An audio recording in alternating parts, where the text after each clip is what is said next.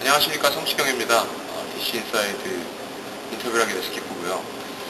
어, 믿으실지 모르겠지만 라디오 갤러리를 되게 자주 봅니다. 어, 모니터 좋은 모니터도 되게 많고 뭐랄까 어떻게 해야 되나라는 방향도 많이 보여주는 것 같고 그래서 오늘 인터뷰 하면서 그동안 사실은 제가 혼자 보고 있었으니까 제가 하고 싶었던 얘기들 질문이 되게 많이 올라왔다고 하는데요. 솔직한 인터뷰